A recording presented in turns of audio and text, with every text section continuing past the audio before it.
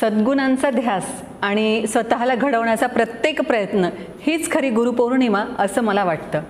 या गुरुपौर्णिमेच्या सगळ्यांना हार्दिक शुभेच्छा देत असतानाच माझ्या काही बाबीसुद्धा मला तुमच्याशी शेअर कराव्याशा वाटतात त्या मी तुमच्याशी अवश्य शेअर करणार आहेच. पूर्वीच्या काळी म्हणजे आता कोणत्याही शाळा कॉलेजमध्ये प्रवेश मिळवणं आणि त्यांना गुरु करणं आपल्या सध्याच्या लँग्वेजमध्ये आपण म्हणूया हे तुलनेनं खूप सोपं आहे. पण पूर्वीच्या काळी मात्र जे आपण खरंच गुरुपौर्णिमा म्हणतो किंवा गुरु शिष्यांचं नातं म्हणतो ना तर मोठमोठ्या गुरूंचं शिष्यत्व लाभणंसुद्धा अजिबात सोपं नव्हतं बरं का? म्हणजे आपण जसं म्हणतो की नाही की एंट्रन्स एक्झाम द्यावी लागते आणि मग तिथे ॲडमिशन मिळतं. तसंच तेव्हासुद्धा या शिष्यांना एंट्रन्स एक्झाम द्यावी लागायची आणि मग कुठे त्या गुरूंकडे त्यांचं ॲडमिशन व्हायचं असं आपण आत्ताच्या भाषेमध्ये समजण्यासाठी म्हणू शकतो. म्हणजे कसं जस्ट तुम्हाला एक उदाहरण देते. एक असाच मुलगा होता ज्याला एका गुरूंकडून शिक्षण घ्यायचं होतं. म्हणून त्यांना गुरूंना जाऊन सांगितलं की मला असं असं शिक्षण घ्यायचं आहे. गुरूंनी असं सांगितलं त्यांनी एक मंत्र त्याला दिला आणि सांगितलं वर्षभर या मंत्राचा जप कर आणि बरोबर वर्षानंतर तू माझ्याकडे ये आणि मग तुला ॲडमिशन देण्यासाठी तू क्वालिफाय झालास किंवा कसं हे मी तुला तेव्हा सांगतो. हा भावी शिष्य गुरुने सांगितल्याप्रमाणे गेला सुद्धा वर्षभर त्यानं त्या मंत्राचा जप केला आणि ठरलेल्या दिवशी तो गुरूंकडे येण्यासाठी निघाला. जसं गुरूंच्या आश्रमाच्या जवळ आला आश्रमाच्या दारातच त्या गुरूंच्या एका शिष्येनं काय केलं? एकदम तिथलं सगळं झाडलं आणि ते झाडता झाडता सगळा धूळ आणि कचरा त्याच्या अंगावर उडवलं. झालं. हा जो भावी शिष्य होता तिच्यावर खूप वैतागला खूप चिडला. आणि शेवटी नंतर कसा तरी तो आतमध्ये गेला आणि गुरूंना तो सामोरं गेला. गुरूंनी सांगितलं तू नागासारखा दंश करतो आहेस त्याच्यामुळे सध्या तरी तुला ॲडमिशन मिळणार नाही. याच मंत्राचा तू पुन्हा एकदा एक वर्षभर जप कर आणि नंतर माझ्याकडे ये. पुन्हा दुसऱ्याही वर्षी तेच झालं. जेव्हा तो गुरूंच्या आश्रमाच्या जवळ आला तेव्हा त्याच शिष्येनं अशा पद्धतीनं सगळं ते तिथलं सारवायला घेतलेलं होतं की ते सगळं शेण मातीचं पाण्याचं जे काही मिश्रण होतं ते त्याच्या अंगावर सगळं भरपूर काही उडालं. आता तो पूर्वी इतका चिडला जरी नसला तरी बऱ्यापैकी तो तिच्यावर रागवला सुद्धा.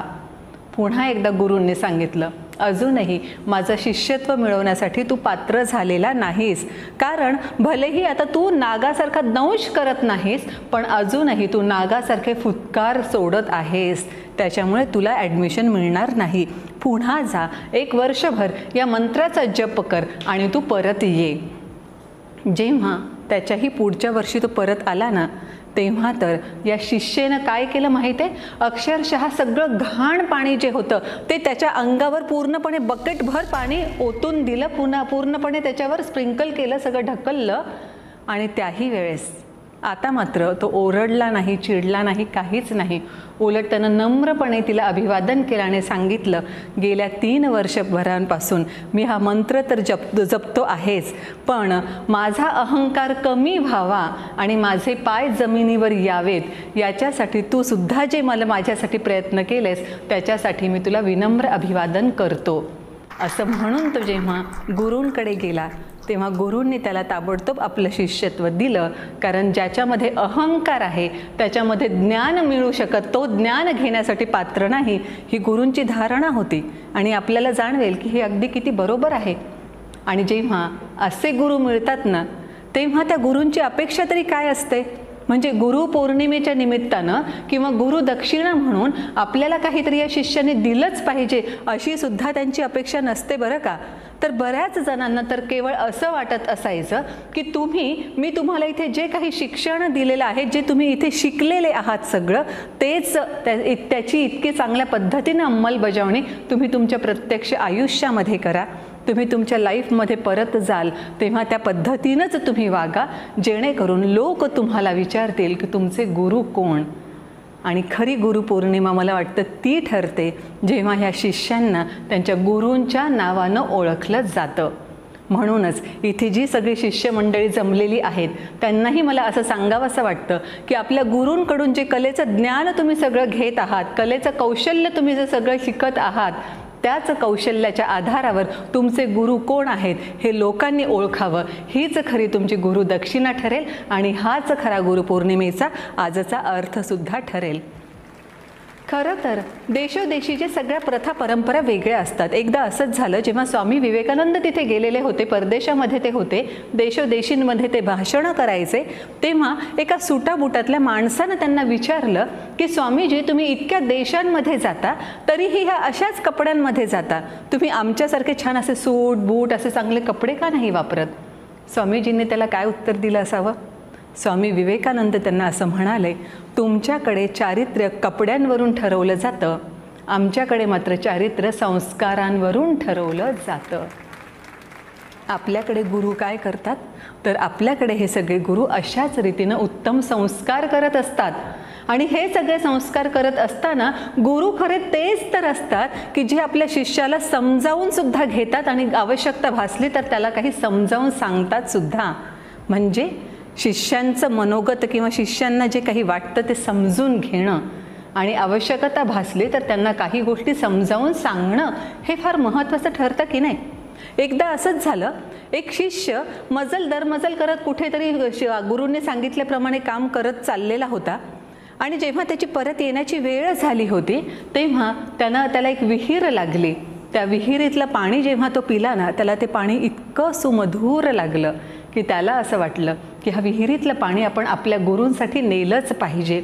म्हणून एक छोटंसं भांडं भरून त्यानं त्या विहिरीतलं पाणी आवर्जून घेतलं आणि आपल्या गुरूंना नेऊन दिलंसुद्धा गुरूंनी सुद्धा अतिशय आनंदानं ते पाणी पिलं आणि त्याचं खूप कौतुक केलं की आठवणीनं त्यांनी त्यानं हे पाणी त्यांच्यासाठी आणल्याबद्दल. त्याच भांड्यामध्ये थोडंसं पाणी राहिलेलं होतं. दुसऱ्या शिष्यानं तो पहिला शिष्य निघून गेल्यानंतर ज्यानं पाणी आणलं तो शिष्य निघून गेल्यानंतर ते भांड्यात राहिलेलं थोडंसं पाणी मी पिऊ का म्हणून विचारलं गुरूंनी त्यांना अनुमती त्याला अनुमती दिल्यानंतर या शिष्यानं ते पाणी पिलं आणि उलट तर त्याला ते अजिबात काही चांगलं वाटलं नाही. आणि मग तो म्हणाला की हे पाणी तर सुमधूर वगैरे असं काहीच नाही उलट ते आपल्याकडचं पाणी जे आहे त्याच्यापेक्षा सुद्धा कमी क्वालिटीचं आहे आणि तुम्ही त्याची एवढी तारीफ का केलीत? तेव्हा गुरुनं त्या शिष्याला सांगितलं की त्यानं काय आणलं आहे कसं आणलं आहे याच्यापेक्षाही जास्त महत्त्वाचं आहे की त्यानं कोणत्या इंटेन्शननी आणलेलं आहे. म्हणजे आपण जे म्हणतो ना की मालाफाईड इंटेन्शन बोनाफाईड इंटेन्शन वगैरे वगैरे. तर खरंच त्यानं खूप सदहेतून ते पाणी आणलेलं होतं.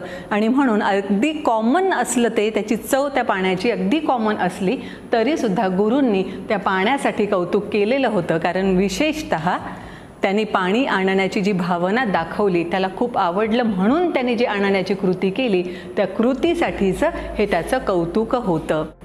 आणि गुरु हुशारसुद्धा असतातच डेफिनेटली म्हणून तर ते शिष्यांना एवढं सगळं काही सांगत असतात. आणि अशा परिस्थितीमध्ये एखाद्या शिष्यानं गुरूंचीच परीक्षा पाहायची जरी ठरवलं तरी त्याही स्वतःच्या परीक्षेतूनही ते काहीतरी त्याला शिकवूनच जात असतात. म्हणजे एकदा असंच तर झालं.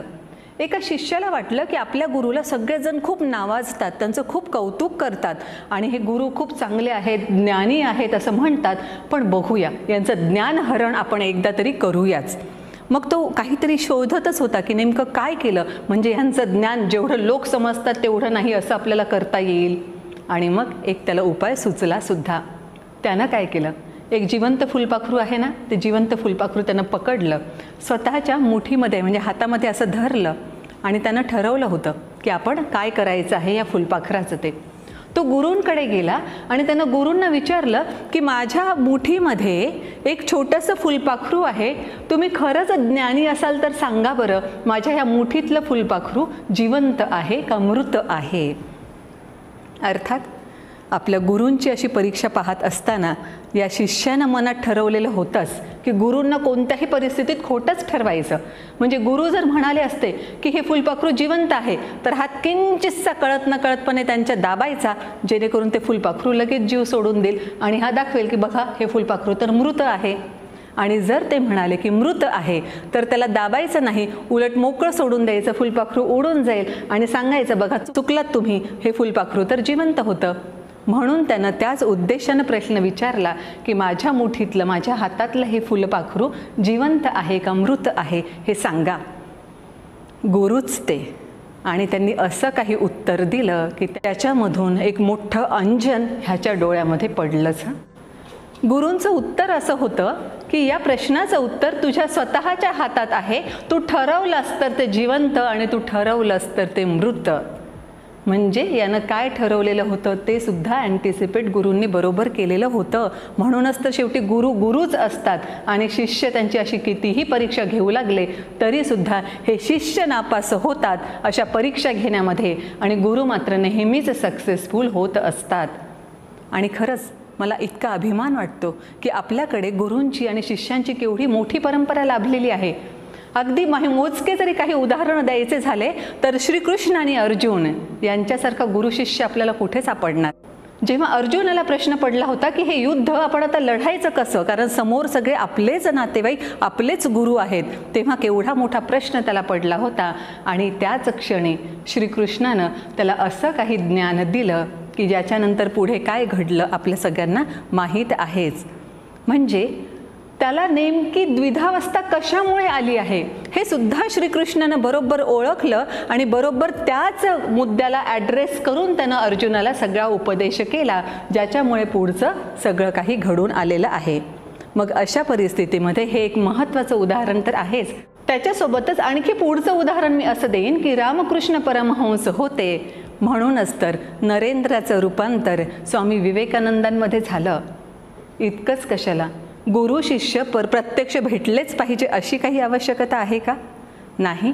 महात्मा गांधी इथे भारतामध्ये होते. पण त्यांच्यापासून प्रेरणा घेऊन मार्टिन लुथर किंग त्याच्यासोबत नेल्सन मंडेला यांनी आपापल्या देशामध्ये जे काही केलं त्यांनी मोठा इतिहास निर्माण केलेला आहे. आणि जर गुरु चाणक्यासारखा असेल तर तो सम्राट चंद्रगुप्त सुद्धा निर्माण करत असतो. आणि किती अगदी साध्या साध्या पद्धतींनी त्याने त्या चंद्रगुप्ताला समजावून सांगितलं ना?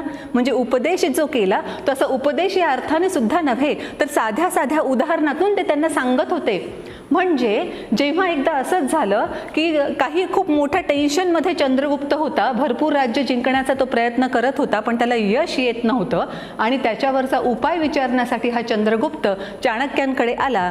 तेव्हा चाणक्याने सांगितलं अगोदर जेवण कर मग आपण बोलू.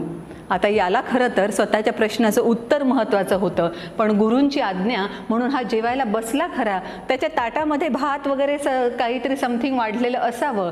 त्याचं लक्ष खाण्याऐवजी त्या सगळ्या विचारांमध्ये होतं. आणि ते करता करता त्यानं सरळ भातामध्ये मध्ये हात घातला आणि त्या तो खाण्यासाठी प्रयत्न केला. भात वाढलेला असताना मध्यभागी हात घालणं याचा अर्थ तो भात मध्यभागी किती गरम असेल की नाही?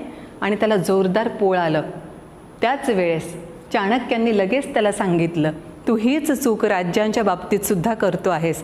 ताबडतोब मधल्या राज्याला हात घालू नको. जसा अगोदर कडेकडेचा तू भात संपवलास तर तोपर्यंत आतला सुद्धा भात थंड व्हायला लागेल आणि तुला खाता येईल. तस त्या त्याचप्रमाणे तू बाजूबाजूचे जर राज्य अगोदर जिंकून घेतलेस तर त्याच्यानंतर मधल्या राज्यांनाही जिंकण्यासाठी प्रयत्न करणं तुला शक्य होईल. हे आर्य चाणक्यांनी इतक्या साध्या पद्धतीनं त्याला समजावून सांगितलं. इतकंच नव्हे तर जेव्हा चंद्रगुप्ताने कबुली दिली की मगध राजाच्या बहिणीवर माझं प्रेम बडजडलं आहे तेव्हा खूप सरळपणे अगदी साधेपणाने आर्य चाणक्याने त्याला सांगितलं की प्रेमात पडणं ही अतिशय सामान्य गोष्ट आहे. लगेच चंद्रगुप्ताला वाटलं की चला चाणक्याने आपल्याला सपोर्ट केला की काय? म्हणून चाणक्य म्हणून चंद्रगुप्ताने लगेच त्यांना विचारलं मग अशा परिस्थितीमध्ये मी काय करू? आणि मग आर्य चाणक्याने त्याला उत्तर दिलं. मी सांगितलं ना प्रेमात पडणं ही सामान्य गोष्ट आहे आणि तू सामान्य मनुष्य बनण्यासाठी जन्माला आलेला नाहीस. एवढं एकच वाक्य उच्चारल्यानंतर आपल्या आर्य चाणक्यांना काय म्हणायचं हे चंद्रगुप्ताला बरोबर कळून गेलं की नाही? म्हणजे फार मोठा फाप फापट पसारा न करता भलं मोठं भाषण न देता अगदी छोट्या छोट्या गोष्टींमधून सुद्धा गुरु इतकं सगळं काही शिकवत असतात. इतकंच नाही. तर आर्य चाणक्याने चंद्रगुप्ताला अशा पद्धतीनं घडवलं की प्रजेची सगळी काळजी कशी घ्यायची हे सुद्धा छोट्या छोट्या उदाहरणांमधून सुद्धा त्याला समजावून सांगितलं. जेव्हा एक मोठं युद्ध जिंकून हा चंद्रगुप्त आर्य चाणक्यांना खूप आनंदानं सांगण्यासाठी आला होता तेव्हा त्याचं ते सगळं वर्णन ऐकण्याच्या अगोदर आर्य चाणक्याने त्याला पहिला प्रश्न असा विचारला की ज्या सैनिकांना ज्यांनी खाऊ घातलं त्या गावकऱ्यांना तू मोबदला पोहोचता केला आहेस का? आणि त्यांना सांगितलं नाही गावकऱ्यांनी खाऊ घातलं खरं पण मी मोबदला काही पोहोचवलेला नाही. तेव्हा आर्य चाणक्याने त्याला अगोदर हे सांगितलं की अगोदर त्या सगळ्या गावकऱ्यांचा मोबदला पोहोचता कर आणि मग तुझ्या विजयाची गाथा मला सांग. म्हणजेच प्रजेची काळजी कशी घ्यावी लागते हे सुद्धा तर आर्य चाणक्यांनी किती साध्या सोप्या पद्धतीनं समजावून सांगितलं होतं की नाही. म्हणूनच तर जिथे असे गुरु लाभतात तिथे खरंच शिष्यांची परंपरा मोठी असणं आणि ते शिष्यांचं नावलौकिक वाढणं अगदी सहज शक्य असतंच की नाही? म्हणूनच तर आपल्याकडे गुरुपौर्णिमेला विशेष असं महत्त्व दिलं जातं जेणेकरून या गुरूंचं सगळ्यांचं स्मरण आपण करावं. आणि अर्थातच जसे माझ्यासमोर तुम्ही सगळे मुलं मुली जमलेले आहात आणि तुम्हाला ही कलेची साधना करायची आहे तर गोष्ट एक लक्षात घ्यावीच लागते आपल्याला. ज्ञान असो किंवा कला असो त्याची साधना करावीच लागते. कारण साधना म्हणजे अशी बाब असते की आपल्यात अंगभूत गुण भरपूर सारे असतात. मग आपल्या अंगभूत गुणांना जर आपण हिरे मानलं तर साधना काय करते? या आपल्या अंगभूत गुणांच्या हिऱ्यांना पैलू पाडण्याचं काम चमकवण्याचं काम ही साधना करत असते. म्हणून आयुष्यभर कधीही ही साधना सोडायची नाही. ज्ञान मिळवायचं असो कला मिळवायचं असो त्याच्यासाठी ही साधना करावीच लागणार आहे. साधना म्हणजे एखाद्या क्षितिजासारखी मला वाटते. क्षितिज कसं? आपल्याला वाटतं की खूप जवळ आहे तिथे आकाश जमिनीवर टेकलेलं आहे. पण जसजसं आपण त्या आकाश जमिनीला टेकलेल्या ठिकाणी जायला लागू तसतसं ते दूर दूर दूर जात राहतं. साधना तशीच तर आहे. म्हटलं तर ती कवेत असते सुद्धा. पण म्हटलं तर ती बऱ्यापैकी आपल्या दूरही असते. आणि म्हणूनच तर अव्याहतपणाने आपल्याला ही साधना करावीच लागते. ही साधना कुणालाच चुकलेली नाही. म्हणजे भीमसेन जोशींबद्दल तुम्ही ऐकलेलं असेल मी मध्यंतरी वाचलं होतं त्यांच्या संदर्भानं की हे भीमसेन जोशी अगदी वयाच्या शेवटच्या क्षणापर्यंत त्यांच्या कलेची साधना करत होते. इतकंच कशाला? विजय मांजरेकर क्रिकेटपटू यांच्याबद्दल सुद्धा मी वाचलं होतं. जेव्हा त्यांनी क्रिकेटमधून निवृत्ती घेण्याची घोषणा केलेली होती आणि ही त्यांची शेवटची मॅच होती त्या शेवटच्या मॅचमध्ये जेव्हा ते आऊट झाले तेव्हासुद्धा त्यांनी सगळं इंट्रोस्पेक्ट केलं की नेमकं असं काय घडलं की ज्याच्यामुळे यावेळेस मला आऊट व्हावं लागलं? नेमकं माझं काय चुकलं आणि कुठे मला सुधारणा करता आली असती? खरं तर बघा त्यांनी क्रिकेटमधली निवृत्ती ऑलरेडी जाहीर केलेली होती. तो क्रिकेटचा सामना त्यांचा शेवटचा सामना होता. याच्यानंतर ते कधीच क्रिकेट खेळणार नव्हते. मग अशा परिस्थितीमध्ये आपण कोणत्या चुका केल्या आणि कोणत्या नाही केल्या याची माहिती घेऊन काही फरक पडला असता का? पण नाही ना. कारण क्रिकेट हे त्यांच्यासाठी साधना होती. म्हणूनच ती सुद्धा चूक का घडली हे त्यांनी इंट्रोस्पेक्ट केलंच. म्हणूनच तर म्हटलं की कला किंवा ज्ञान याची साधना असते आणि आपल्याला ती नेहमीसाठी करावी लागते. म्हणजे जसं म्हटलं जातं ना की सगळ्यात उंच उडणारा पक्षी कोण आहे? गरुड. जो अगदी ढगांच्याही वर जात असतो. तर सगळ्यात उंच उडणारा पक्षी म्हणून माझं नाव व्हावं म्हणून गरुड गरुड सगळ्यात उंच उडत असतो का? मला रेकॉर्ड बनवायचं आहे सगळ्या पक्ष्यांमध्ये. मला गरुड मला राजा म्हटलं गेलं पाहिजे वगैरे वगैरे. असं काही लक्षात ठेवून गरुड एवढा उंच उडतो का? अजिबात नाही. तर त्याला तेवढं उंच उडायला आवडतं. त्याचा तो स्वभाव आहे तेवढा उंच उडणं. किंबहुना त्याचं ते पॅशन आहे म्हणून तो एवढा उंच उडत असतो. त्याच पद्धतीनं आपलं पॅशन असलं पाहिजे. जे ज्ञान मिळवायचं आहे जी कला मिळवायची आहे आपल्याला आपल्याला अवगत करायची आहे ते सगळं मिळवणं हे आपल्यासाठी पॅशन जर असेल ना तर आपण फक्त नावासाठी काही करणार नाही तर खरंच आत्मिक समाधानासाठी करायला लागू. आणि जेव्हा असं आत्मिक समाधान आपल्याला लाभतं तेव्हा खरा आनंद काय असतो हे सुद्धा आपल्याला समजतं.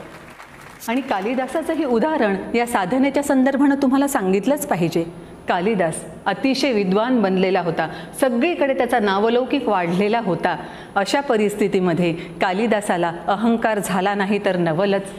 मग एकदाच असा अहंकाराने भरलेला हा कालिदास कुठेतरी मार्गक्रमण करत होता आणि जाता जाता त्याला तहान लागली. त्यानं बघितलं विहिरीवर एक छोटीशी मुलगी पाणी चेंदण्याचं काम करते आहे. म्हणून तो त्या मुलीकडे गेला आणि त्यानं तिला पाणी देण्याची विनंती केली. त्या मुलीनं विचारलं तुम्ही कोण? तेव्हा कालिदासानं उत्तर दिलं मी मोठा मनुष्य आहे. आणि तिनं सांगितलं मोठा तर फक्त दोनच गोष्टी असतात. एक म्हणजे भूक आणि दुसरी म्हणजे तहान. त्याच्यापेक्षा मोठं दुसरं कोणीच असू शकत नाही. मग त्यानं सांगितलं की मी विद्वान आहे मी सगळ्यांना ज्ञान देतो. तेव्हा ही छोटीशी मुलगी पुन्हा असं म्हणाली खरं तर ज्ञान देणाऱ्या दोनच गोष्टी आहेत. पहिला अनुभव आणि दुसरी गरिबी. या दोन गोष्टी जेवढं ज्ञान देतात तेवढं ज्ञान दुसरं कोणीच देऊ शकत नाही. मग थोडासा विचार करून पुन्हा कालिदासाने सांगितलं असं समज की मी वाटसरू आहे मी मार्गक्रमण करत आहे. तेव्हा ही मुलगी पुन्हा एकदा म्हणाली वाटसरू तर खरे दोनच आहेत एक सूर्य आणि एक चंद्र जे नेहमीच त्यांचं मार्गक्रमण करत असतात. मग तुम्ही कोण आहात? तिच्या प्रश्नावर कालिदासानं उत्तर दिलं की मी पाहुणा आहे असं समज. तेव्हा तीही म्हती पुन्हा एकदा म्हणाली की पाहुणे तर फक्त दोनच असतात. एक असतं सुख आणि दुसरं असतं दुःख. जे न सांगता येतात आणि त्यांना वाटेल तेव्हा ते निघून जातात. आता मात्र कालिदास हरत चालले होते. आता काय उत्तर द्यावा? हा प्रश्न त्यांनाही पडला होता. आणि म्हणून शेवटी ते म्हणाले की असं समज की मी एक मूर्ख मनुष्य आहे. आणि तेव्हा या मुलीनं पुन्हा एकदा त्यांना सांगितलं मूर्ख तर जगामध्ये फक्त दोनच जण असतात. एक जण ज्याला प्रचंड अहंकार झालेला आहे आणि दुसरे जे ह्या अहंकारी मनुष्याला डोक्यावर घेऊन नाचतात. तेव्हा खरंच कालिदासाला जाणवलं की आपण किती चूक आहोत. आणि अगदी साध्या शब्दांमध्ये सुद्धा या मुलीनं आपल्याला कसं मूर्ख ठरवलेलं आहे कारण हा स्वतःसुद्धा अहंकारानं तर एवढा भारलेला होता. आणि हे ऐकल्यावर अतिशय विनम्रतेनं त्यांनी स्वतःची चूक मान्य केली आपल्याला अहंकाराची बाधा झाली होती हे सुद्धा त्या छोट्या मुलीसमोर कबूल केलं आणि याच्यानंतर कधीही अहंकारी होणार नाही याचं सुद्धा वचन त्यांनी त्या छोट्या मुलीला दिलं. आणि असं म्हटलं जातं की यांच्या ह्या अहंकारामुळेच स्वतः शारदा देवी त्या मुलीच्या रूपामध्ये आली होती यांचा अहंकार दूर करण्यासाठी. आणि मग मला मुद्दा तोच तर सांगावासा वाटतो की जिथे कालिदासासारख्या विद्वानाला सुद्धा साधना चुकली नाही तिथे आपल्या सगळ्यांची काय कथा? म्हणूनच आपण सगळेजण अशा पद्धतीची ज्ञानाची असो किंवा कलेची असो आपण साधना करतच राहूया. आणि सरते शेवटी आणखी एक मुद्दा मी आपल्यासमोर मांडेन आणि मग आपली रजा घेईन. हा मुद्दा मांडत असताना पुन्हा मी एक उदाहरण तुम्हाला देऊ इच्छिते. जेव्हा ह्या सगळ्या शिष्यांनी गुरूंच्या आश्रमातलं आपलं सगळं शिक्षण पूर्ण केलं होतं आणि ते दुसऱ्या दिवशी निघून जाणार होते आपापल्या गावाकडे तेव्हा गुरूंनी असं सांगितलं त्यांना की तुम्ही उद्या मला अगोदर भेटायला या आणि मा माझा आशीर्वाद घेऊन नंतर तुमच्या तुमच्या मार्गांना लागा. आणि मग हे तीनही शिष्य आपल्या गुरूंना भेटण्यासाठी त्यांच्या आश्रमाकडे निघाले. आणि जेव्हा ते त्यांच्या आश्रमाकडे निघाले तेव्हा त्यांच्या लक्षात असं आलं की यांच्या ह्या तिन्हीही शिष्यांच्या मार्गामध्ये भरपूर सारे अनकुचीदार काटे होते. मग त्यातल्या एकाला काय वाटलं? की अच्छा म्हणजे गुरूंनी मुद्दाम आपली परीक्षा पाहण्यासाठी हे काटे अंथरले असतील की आपण खरंच त्यांना नमस्कार करण्यासाठी त्यांचे आशीर्वाद घेण्यासाठी त्यांच्या आश्रमापर्यंत या काट्यांमधून पोहोचू की नाही अशी ते परीक्षा घेणार असतील कदाचित. असा विचार एका शिष्यानं केला. आणि तसाच तो काट्यांवरून चालत राहिला चालत राहिला. पाय त्याचे रक्तबंबाळ झाले होते. पण त्या रक्तबंबाळ पायांची काळजी न करता तो त्या आपल्या गुरूंपर्यंत पोहोचला आणि त्यांचे आशीर्वाद त्यानं घेतले.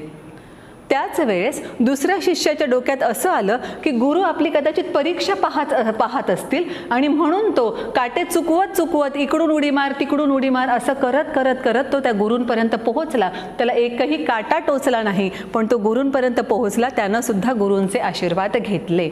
आणि तिसरा जो शिष्य होता तो मात्र त्यानं जेव्हा पाहिलं की मार्गात एवढे सगळे काटे आहे तेव्हा तो चालताना हे सगळे काटे दूर करत करत करत पुढे चालला होता. आणि जेव्हा तो गुरूंच्या आश्रमापर्यंत पोहोचला तेव्हा जस्ट त्याने मागे वळून बघितलं तर सगळेच्या सगळे काटे दूर गे झालेले होते. म्हणजे आता कोणीही त्या मार्गावरून आलं तरीही कुणालाही एकही काटा टोचणार नव्हता. त्याची ही कृती पाहिल्यानंतर त्या बाकीच्या दोन शिष्यांना गुरूंनी सांगितलं की मी तुम्हाला इथे जे ज्ञान दिलं त्या ज्ञानाची खरी अंमलबजावणी तर ह्या तिसऱ्या शिष्यानं केलेली आहे. तुम्ही फक्त तुमच्या डोक्यानं तुम्हाला जसं वाटलं तसं तुम्ही केलं पण खरंच मी जे काही शिकवलं त्याची अंमलबजावणी यानं केलेली आहे. म्हणून आजच्या या गुरुपौर्णिमेच्या निमित्त आपल्या सगळ्यांना मी सांगू इच्छिते आणि तुमच्याकडून अपेक्षाही करू इच्छिते. की गुरु तुम्हाला जे काही शिकवत आहेत तर त्यांना ज्या पद्धतीनं अपेक्षित आहे त्यांच्याकडून जी साधनं त्यांच्याकडून जी कला ज्ञान तुम्ही शिकत आहात त्याची अंमलबजावणी तेवढीच प्रॉपर व्हायला हवी जेवढी आपल्या गुरूंना अपेक्षित आहे. आणि अर्थातच आपल्या सगळ्यांना आपल्या ह्या कलेची ज्ञानाची साधना आपण अखंडपणे करत राहावी याच्यासाठी शुभेच्छा देते आणि इथेच थांबते. Thank you so much